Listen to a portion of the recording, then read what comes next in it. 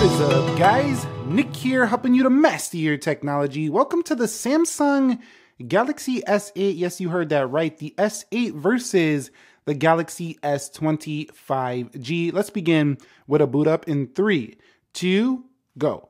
Now, the Galaxy S8 came out in 2017 and it was a very hot seller for Samsung. As a matter of fact, I still see people rocking the S8 out in public as well as the S8 Plus. And here is the S20 which is seemingly the 2020 version of the Galaxy S8, a very similar body size, but with more screen on there.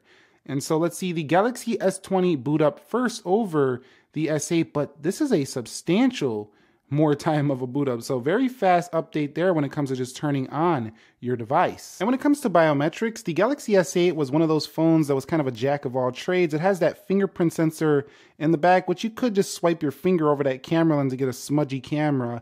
So sometimes I didn't really like this placement, but it did work well and it's pretty accurate. I do like physical fingerprint sensors, however. You could also use iris face unlocking or 2D face unlocking with this device. So the S8 did have multiple ways, but um, the Galaxy S20 has the in-display fingerprint sensor. And so if we go ahead and unlock the Galaxy S20, you can see that the S20 definitely very fast as well. I find this way more convenient than the one on the back of the S8, and I personally prefer unlocking the S20 over the S8. It seems a little snappier and just in a better location. However, the face unlock is definitely a little bit better to me on the S8 with the iris unlocking versus just this 2D face unlock here. And so quickly confirming the software before the app test, you can see 1.0 versus 2.1 coupled with Android 9 for the Galaxy S8 and Android 10 here for the S20. I don't think we're going to get Android 10 officially for the S8, but just look at the difference in the bezel. And here we are at the application speed test. So you can see everything closed out there for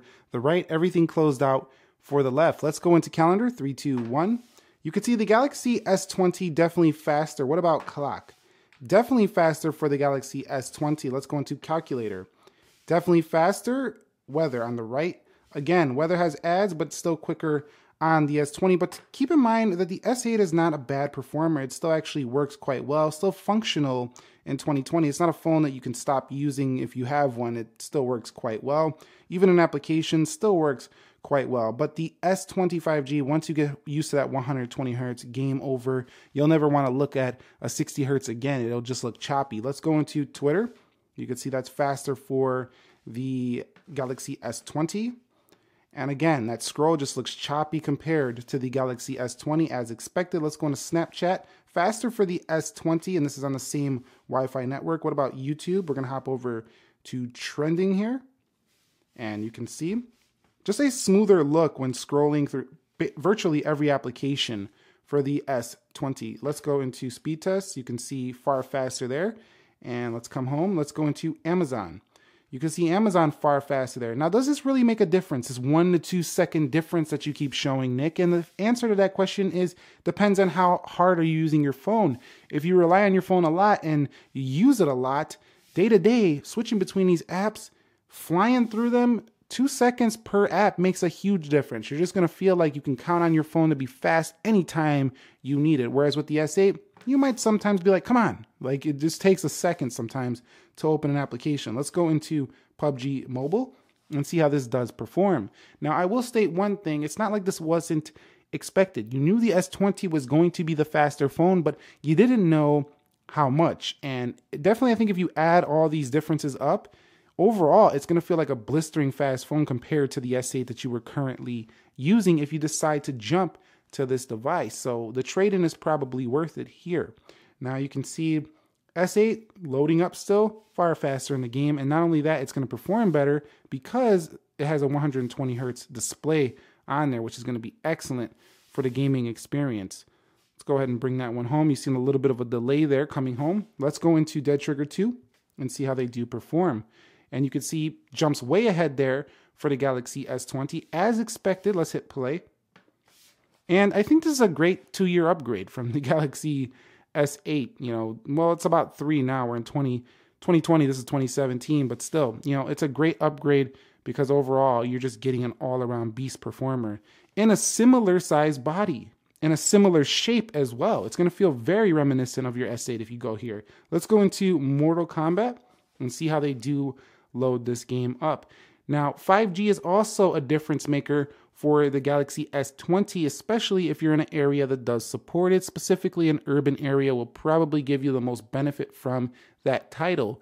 But if you're in an area that's rural, a suburban area that's way out in the country, um, that probably means absolutely nothing to you at this point. But you can see, graphically speaking, the it just loads up much faster here. And so if we ran like one of those gaming graphic tests, the Galaxy S20 would finish far faster than this Galaxy S8 over here. But again, you can see the S8 is doing well. It's still it's still running these apps. So if you don't need all this stuff, the S8 still works fine. So at the end of this single round of apps, you can see pretty much everything is faster for the Galaxy S20 5G, and that's what you want to see. Now, 4 gigabytes of RAM, 12 gigabytes of RAM. Let's see if the RAM can hold everything on both phones. Pretty good so far. Let's come home here. And looks like we have to come from the side here. Okay, so let's see how the RAM does do in holding these applications. 4 gigs over here, and we have 12 gigs, which is three times more RAM. Let's go into Mortal Kombat, and let's bring it home here for the Galaxy S20, and let's bring it home for the S8, and let's go into Dead Trigger. You can see that the Galaxy S20 a little snappier there to bring that one home. And let's come home here, and let's go into the PUBG Mobile and you can see the S20 once again a little bit faster there. It does hang a little bit there on the landscape. And no, the auto rotate is not on. It just does that because it's defaulting to the landscape mode. Let's go into Geekbench 5.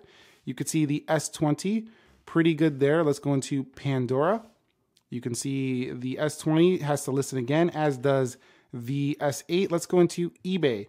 And there you go with the reload for the S8. Let's go into Amazon. Again with the S8 reload, we don't even have to look at more. You can see right there, speed test a little faster on the right. YouTube, reload there for the Galaxy S8. So this is where that more RAM is effective. Now consider this, if you are doing multitasking, have multiple windows open at once, this can make a big difference. Or if you're doing something very important on your phone, you don't have access to your laptop, having that extra RAM comes really in handy. It allows you to get that same type of performance you usually get from a laptop or PC. Let's head into calculator. And you can see the Galaxy S20 first there clock. Yes, so S20's RAM difference is substantially noticeable. You will definitely feel it and you probably will enjoy it as well. So let's go to target.com here on both of them. And you can see the S20 a little bit faster there. The Samsung browser is pretty smooth on both. Let's go into Amazon in the web browser. We did it in the app test already, but you can see over there, faster for the S20 5G. Let's head into Pinterest.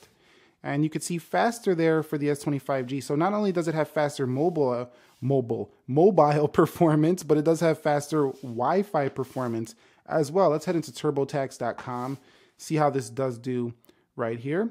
And you could see definitely faster for the S20, but not by a lot. So if you have a good Wi-Fi network, won't be a big difference. But let me show you something that will be a big difference. Let's go to walmart.com right here.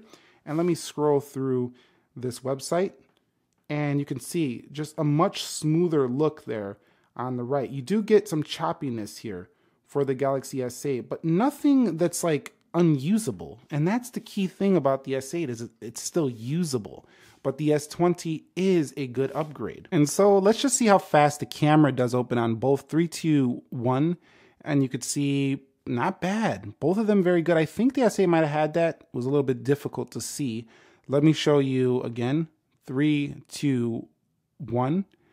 And yeah, pretty fast there on both. Now, the Galaxy S20 5G does have the ability to hold down and start recording just like that. Whereas if you hold down the S8, you just get the shutter. Now, if you bring the S20 down, you can take shutters like that. So both are going to be very fast at doing a shutter, but again, you could hold down here to start taking video on the Galaxy S20 just released to stop that video. And testing out the quick launch feature, three, two, one.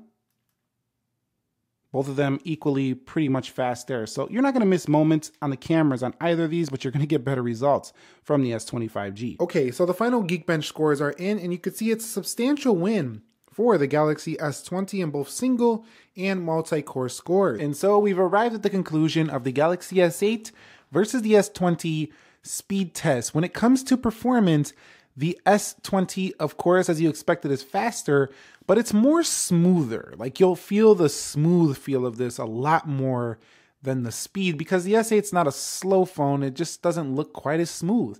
And that's how I would sum these two up. Also, much faster Wi Fi and 5G performance. It's just newer technology, it's going to be better.